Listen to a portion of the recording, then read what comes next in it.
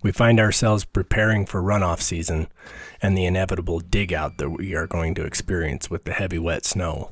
The excavator has been parked here all winter, and I haven't started it even once. So I came down here to see if it would start, and it wouldn't even crank.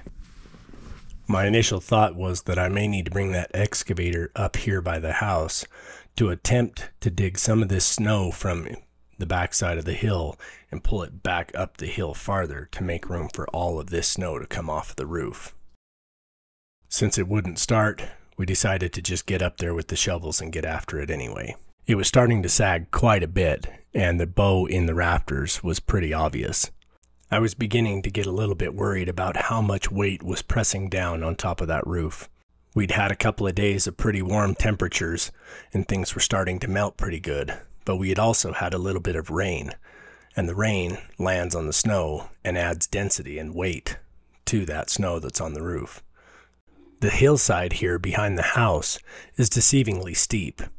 The peak of the house is only about four feet taller than the road surface behind the house. So the main issue that arises when digging out the roof with shovels is the distance you got to carry that snow to make sure that it's away from the roof and away from the house. You can't simply throw it to the edge of the roof because there's such volume of snow to have to put there that you end up with a 10 foot wall if you stack it at the edge. So you got to carry it uphill far enough that there's room to actually put all of the snow that we're digging off. So after digging for a little while and getting the majority of the weight off of this lean-to roof, I decided it was time to see if we could do any better than this. I went up to get the tractor and a pair of jumper cables to see if we could dig out and jump start the excavator and see if there was any way that we could get it up here to reach down and dig some of the snow away from the house. Once I got down there, I knew I needed to take a couple of scoops of snow out of the way to make sure I was close enough for the jumper cables to stretch.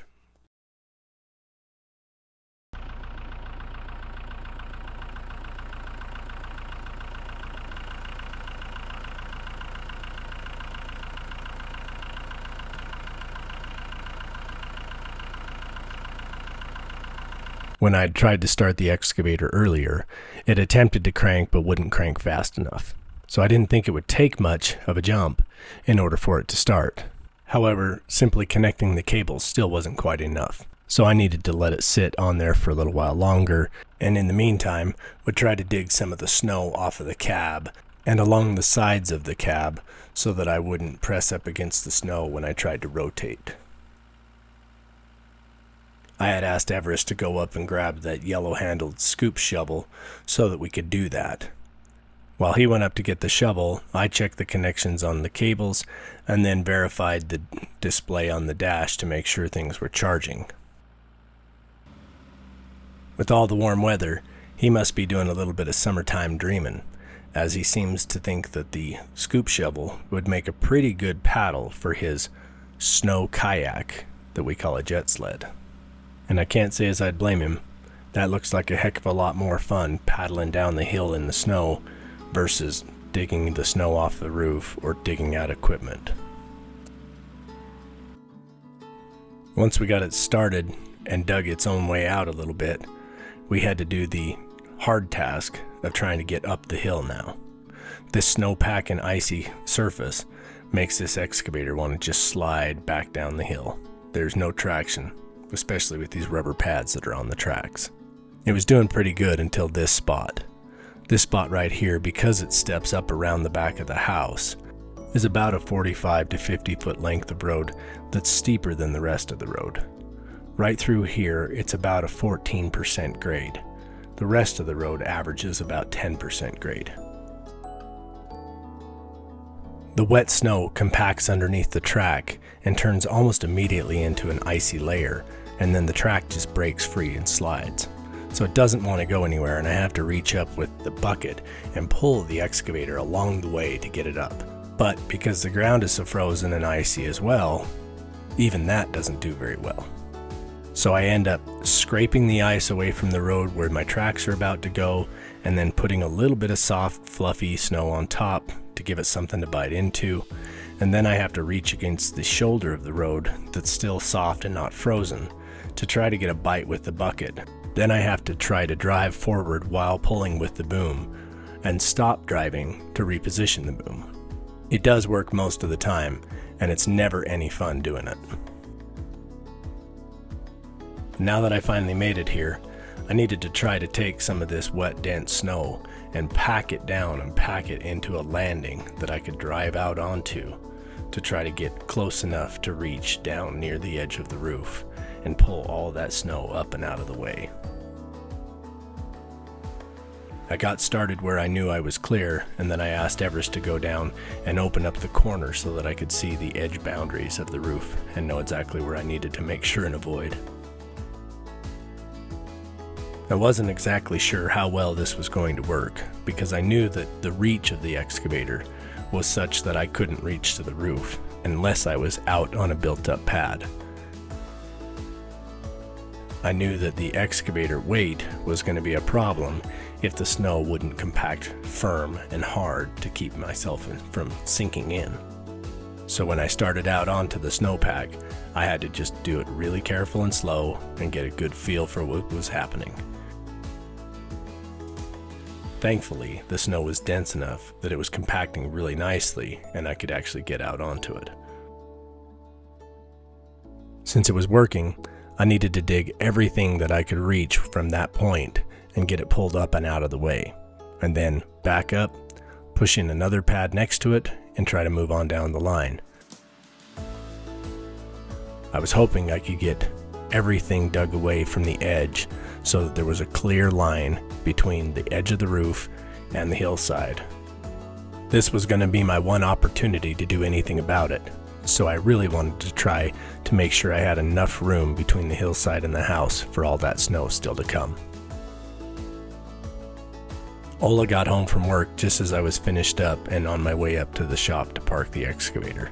It's probably a good thing that she wasn't home any sooner, because seeing me on the excavator out on a snow ledge probably would have ramped up her anxiety level.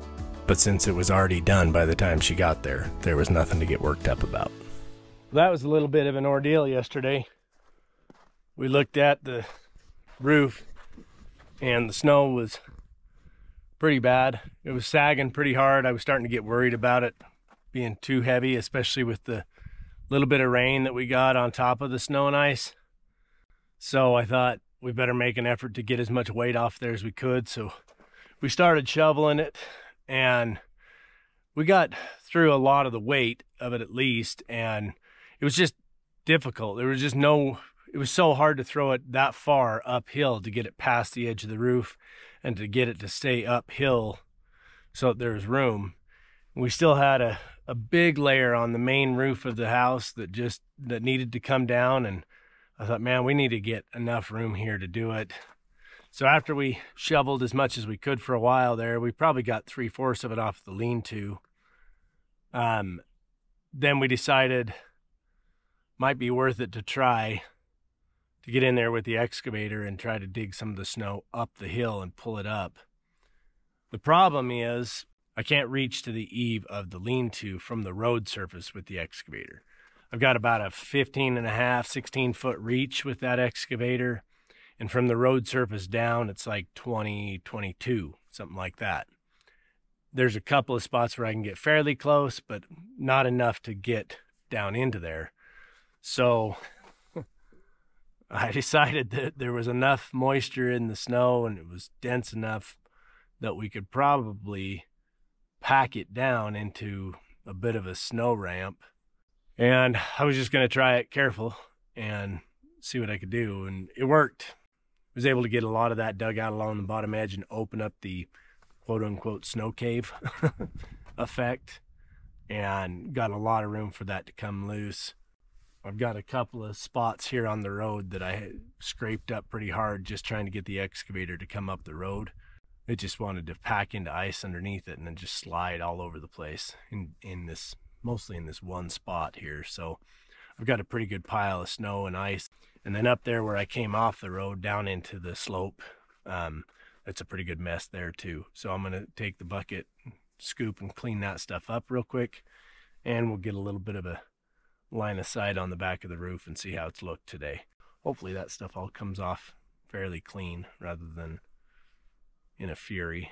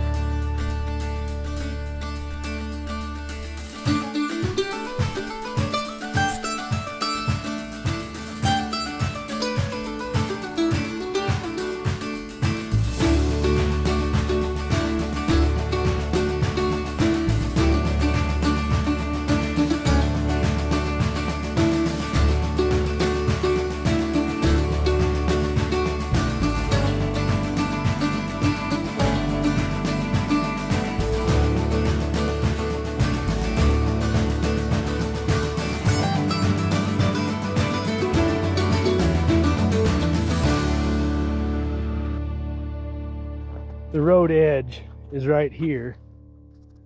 And after that, it drops off at a 35 degree angle. You can kind of see up there is the spot that I shelved out to dig out all of that. Most of it's come off. That bit has come down because it was only about six inches down from the eave.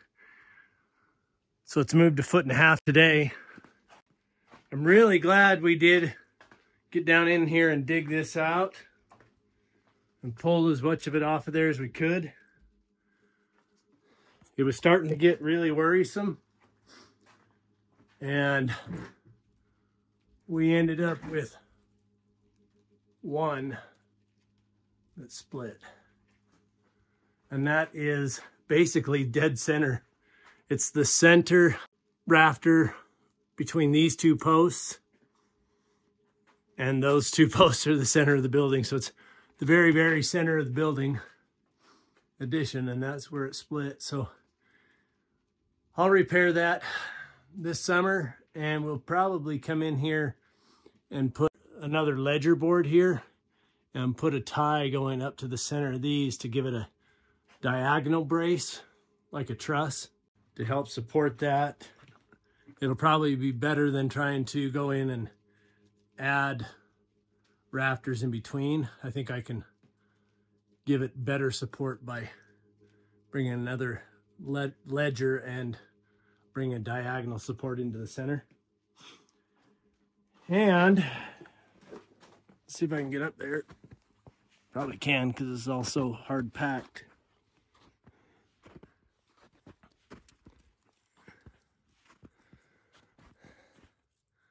That's the ice layer by the chimney pipe. All that's going to come down now because it's got room to go. You can see up here is where I was sitting. Back where the road shoulder is, I was a full excavator length out onto the snowpack. You can't really see it well in this corner of the roof over here where these branches are. We actually have a little, we call it a zigzag trail that comes from here and it comes around through here and ends up up there next to that juniper tree. And I dug all this out deep. It didn't even come near to that trail. So it comes way back there and then it cuts back from that juniper back across here and comes up to the road over here. That's all buried in eight feet thickness or so.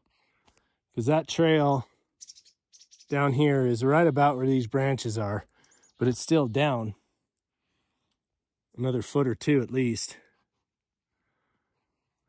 But now we've got enough room here for all of this to be able to make its way off and come down into here. And I piled it all up there. This is all going to melt. It's all going to come down and it's all going to come across the floor inside our little covered kitchen. But that's not a big deal to me.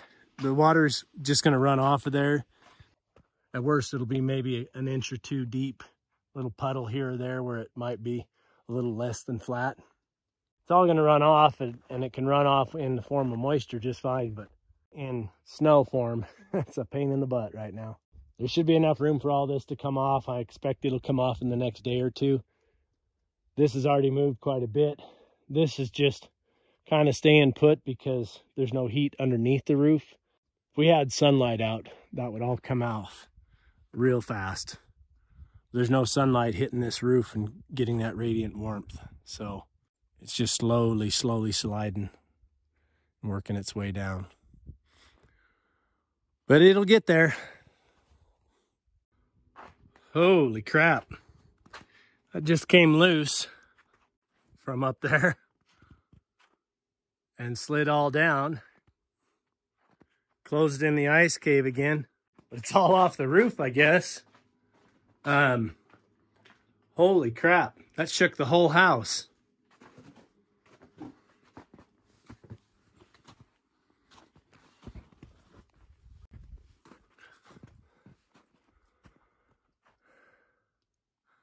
I knew that was going to come off of there. I hoped it would come off slowly like it had been going. But it came off with a fury. I felt the whole dang house move. Whew. That was intimidating. wow, just goes to show you the weight and the force involved in all that.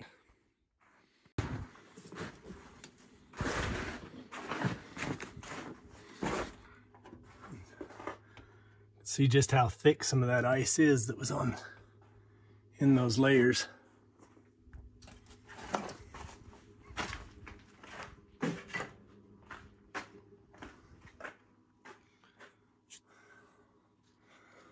some pretty thick chunks of ice in that. That's a lot of weight. This little stretch of road is the same stretch of road that I had come down here with the tractor and dug out for a while, moving that snow, trying to make room for it to run off of the road.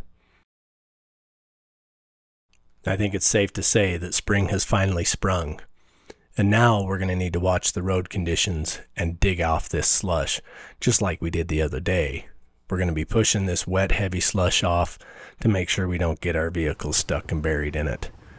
When you're driving along and you catch a patch of that, it just wants to suck you in and push and pull you all over the road.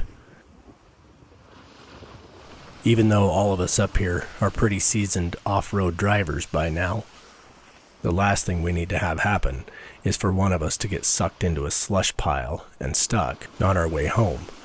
Or worse yet, get sucked into the snow embankment or drop a tire off the shoulder of the road. The new task for the next couple of weeks will be watching and monitoring the slush buildup and the water to make sure that we clear it where we need to and make sure that it's draining and getting off the road anywhere that we can. even though it seems like this is a major problem to deal with. It's really just not that problematic. It makes us super excited to see it because we know spring is here and summer's on its way.